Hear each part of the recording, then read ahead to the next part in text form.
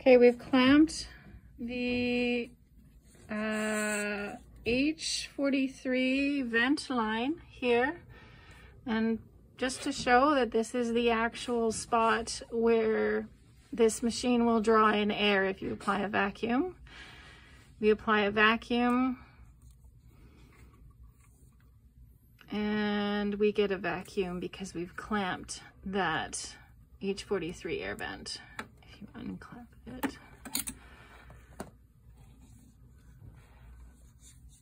do it again. There we go. And there's no vacuum if you unclamp it. You want to do that one? Yeah. Um,